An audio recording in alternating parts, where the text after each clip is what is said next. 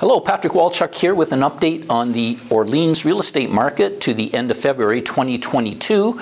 And if you enjoy getting these videos, click on the subscribe button and also hit the notification bell and we'll get these things pushed out to you every 30 days. So let's get right into it.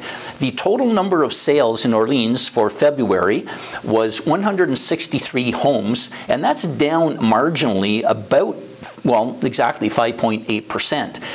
The average price for all types of homes, that's both freehold and condominium, is $726,000, and that's a very healthy increase of over 16%. Now, when we break out these average prices, looking at just freehold or residential properties, the average sold price was $789,000, an increase of almost 11%. For condominiums in Orleans, the average price was just about $487,000. That's an increase of a very healthy 15%. And in terms, in terms of how long it's taking to sell, they sold in an average of six days, really quick. You know, last year at this time they're selling in two days, but six days is still remarkably fast.